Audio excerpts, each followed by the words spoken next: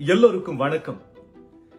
ஜெபமாலை சிந்தனை தொகுப்பின் முதல் அத்தியாயத்துல ஜெபமாலையின் பின்புல வரலாறை பற்றியும் அதற்காக புனித டோமினிக் அவர்கள் எவ்வாறாக தம்முடைய வாழ்க்கையையும் திறமைகளையும் அர்ப்பணித்து கடவுளின் வீரமிக்க நாய்க்குட்டியாக சாத்தானின் சூழ்ச்சிகளான இருட்டுக்களான தப்பறை கொள்கைகள் பாவத்திலே மூழ்கியிருந்த வாழ்க்கை முறை திருச்சபைக்கு எதிராக எழுந்த படிப்பினைகள் அனைத்தையும் விரட்டி அடித்தார் என்பதை நம்ம பார்த்தோம்.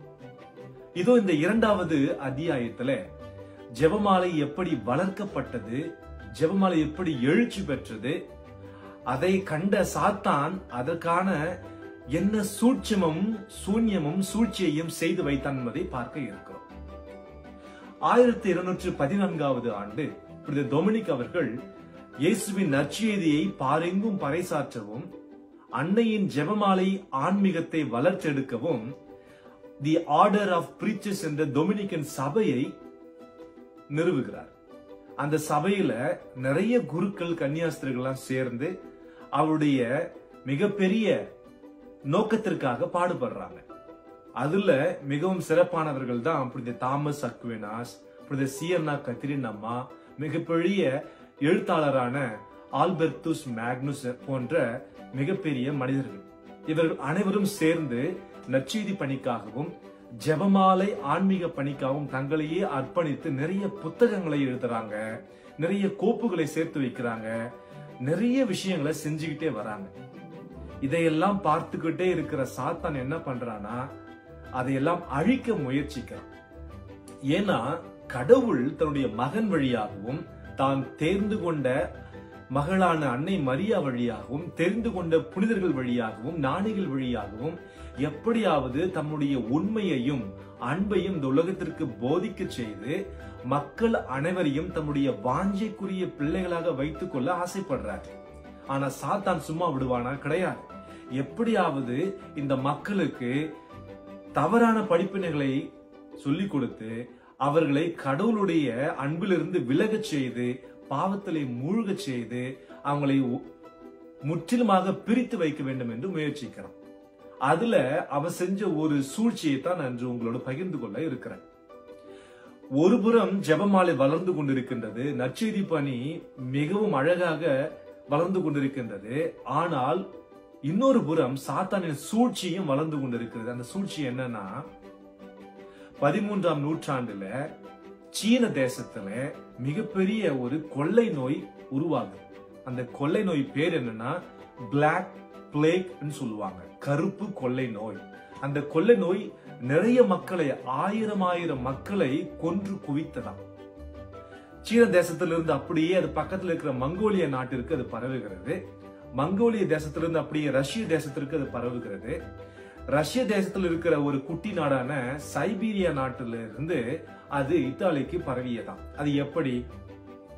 சைபீரிய நாட்டுக்கும் இத்தாலி நாட்டுக்கும் அடிக்கடி வணிகம் சம்பந்தப்பட்ட சண்டைகள் எழுமா அப்படி ஒரு சண்டை நடக்கின்ற போது சைபீரிய நாட்டு மன்னன் அவருடைய வீரர்களோடும் இத்தாலி தேசத்துல இருக்கிற அங்க இருக்கிற ஒரு தலைவரும் அவங்களுடைய வீரர்களும் சண்டையிட்டு கொண்டு இருக்கிறாங்க அந்த போர்ல சைபீரிய நாட்டு மன்னனும் அவங்களுடைய போர் வீரர்களும் ஒழுங்கா சண்டையிட முடியாம தவிக்கிறாங்க. ஏன்னா இந்த கருப்பு கொள்ளை நோய் அங்க இருக்கிற அந்த கூட்டத்துல இருக்கிற போர் வீரர்களை பாதிக்குது. அதனால நிறைய பேர் மாண்டு போகிறாங்க இதெல்லாம் அவங்களால ஒழுங்கா சண்டையிட்டு ஜெயிக்க முடியல. அந்த போர்ல தோத்து போயிடுறாங்களாம். இதையெல்லாம் பார்க்குற அந்த சைபீரிய நாட்டு அரசன் ரொம்பவும் கோபம் அடையலாம் அந்த அரசன் பேர் வந்து Jani Beg. Khan Jani Beg என்று சொல்வார்கள். இவன் மிகவும் மோசமானவன். தான் அரசன் ஆகணும் அப்படின்றதுக்காக தன்னுடைய சொந்த சகோதரர்களான ரெண்டு பேரை கொன்றுட்டு இவன் அரசனா நிக்கிற ஒரு தன்னலவாதி ஒரு சுயநல விரோதி. இவன் என்ன செய்யறானா நம்ம செத்தாலும் பரவாயில்ல பகைவர்கள் அனைவரும் அழிஞ்சு போகணும் நம்முடைய எதிரிகள் எல்லாம் அழிஞ்சு போகணும்னு நினைச்சுக்கிட்டு தான் கூட்டத்துல அந்த கருப்பு கொள்ளை நோயால பாதிக்கப்பட்ட எல்லாரையும் அதை கருப்பு கொள்ளை நோயால பாதிக்கப்பட்டு இறந்து போன எல்லா பிணங்களையும் அள்ளி கொண்டு போயிட்டு இத்தாலி தேசத்துல இருக்கிற வீதிகளிலும் அங்க இருக்கிற ஆறுகளின் ஓரத்திலையும் அப்படியே போட்டுட்டு போயிடுறான். அதனால அந்த தேசத்துக்குள்ளாக அந்த நோய் பரவ ஆரம்பிக்குது. இதையெல்லாம் பார்க்கிற அந்த நாட்டு போர் வீரர்கள் அந்த பிணங்களை எல்லாம் கொண்டு போயிட்டு ஆற்றுக்குள்ளேயும் கடலுக்குள்ளாவும் வீசிடுறாங்க. தண்ணிக்குள்ள வீசியதால அந்த நோய் இன்னும் வேகமா பரவி இருக்கிறது. அதனால Sicily Italy Spain France Austria Switzerland England என்று அங்க இருக்கிற எல்லா நாடுகளிலும் இந்த கொள்ளை நோய் வேகமா பரவி இருக்கிறது. அந்த காலகட்டத்துல ஐரோப்பிய கண்டத்தில் இருக்கிற ஜனத்தொகையில நான்கில் ஒரு பங்கு மாண்டு போறாங்களாம். நான்கில் ஒரு பங்குனா நினைச்சு பாருங்களேன். எவ்- எத்தனை ஆயிரம் ஆயிரம் ஆயிரம் மக்கள் வந்து இந்த கொள்ளை நோயால மாண்டு போகிறாங்க. நிறைய பேர் பாதிக்கப்படுறாங்க. இந்த சூழ்நிலையில அங்க இருந்த துறவர சபைகள் நிறைய என்ன செய்யுதுன்னா அந்த கொள்ளை நோயால பாதிக்கப்பட்ட வியாதிக்காரர்களுக்கு அடைக்கலம் கொடுத்து அவங்களுக்கு மருத்துவ பணியையும் ஆன்மீக பணியையும் ஆதரவு அன்பு பணியும் செஞ்சுக்கிட்டு வராங்க. அப்படி செஞ்சதுல புனித டொமினிக் நிறுவிய அந்த ஆர்டர் ஆஃப் பிரீச்சர்ஸ் என்ற டொமினிக்கன் சபையின் குருக்களும் கன்னியாஸ்தர்களும் சேர்ந்து அவங்க இல்லத்துக்குள்ளாக இந்த ஏழைகளை கொண்டு வந்து அவங்களுக்கு பணி செய்யறாங்க. இப்படி இது வளர்ந்து கொண்டே போக இந்த நோய் நிக்கிற மாதிரி தெரியல. நான்கு முறை விட்டு விட்டு இந்த கொலை நோய் பரவி நிறைய மக்களை கொன்று குவித்ததாம். அந்த சூழ்நிலை இவங்க பணி செஞ்சுட்டு இருக்கும் பொழுது அரசு ஒரு ஆணை பிறப்பிக்கிறது. அது என்னவென்றால் எந்தெந்த இடத்தெல்லாம் இந்த கருப்பு கொள்ளை நோய் பரவி இருக்கிறதோ யார் யாரெல்லாம் அதனால பாதிக்கப்பட்டாங்களோ எந்தெந்த இடத்தெல்லாம் அந்த பாதிக்கப்பட்ட தொற்று இருக்கிறவங்க எல்லாம் வச்சு அவங்களுக்கு மருத்துவ உதவி செஞ்சாங்களோ எல்லா இடமும் எரிக்கப்பட வேண்டும் நெருப்பினால் எரிக்கப்பட வேண்டும். அப்படித்தான் இந்த கொலை நோயை விட்டு நம்ம வந்து விலகி சந்தோஷமா இருக்கலாம்னு சொல்லிட்டு ஒரு ஆணையை பிறப்பிக்கிறாங்க. அதனால யார் யாரெல்லாம் பாதிக்கப்பட்டாங்களோ எல்லாரையும் எரிக்கிறாங்க. எந்தெந்த இடத்துல பாதிக்கப்பட்டவங்க இருந்தாங்களோ வாழ்ந்தாங்களோ அல்லது அவங்களுக்கு வந்து பணி பெற்றுக்கொண்டாங்களோ அத்தனை இடத்தையும் எரிக்கிறாங்களாம்.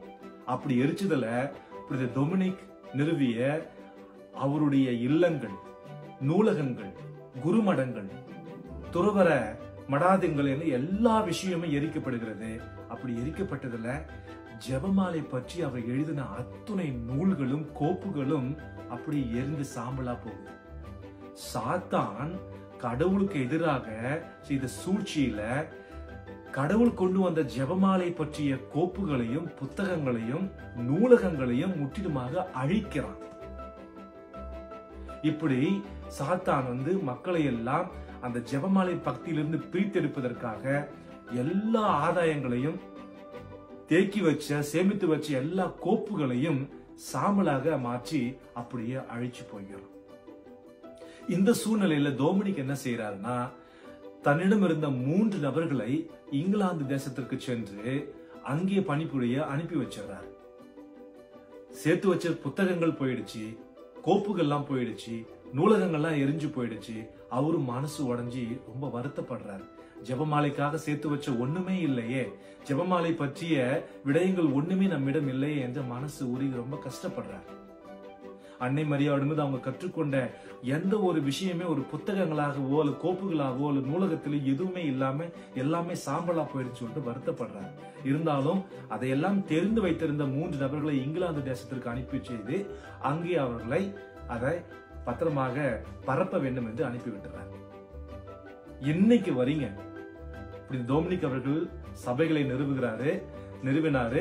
இன்னைக்கு நிறைய பேர் இந்த உலகத்துல பணி செஞ்சுட்டு இருக்கிறாங்க. ஆனா புனித டொமினிக் அவர்கள் கைப்பட எழுதின எந்த ஒரு புத்தகமும் அல்லது கட்டுரைகளும் கோப்புகளும் எதுவுமே அவங்கள்ட்ட இல்லை.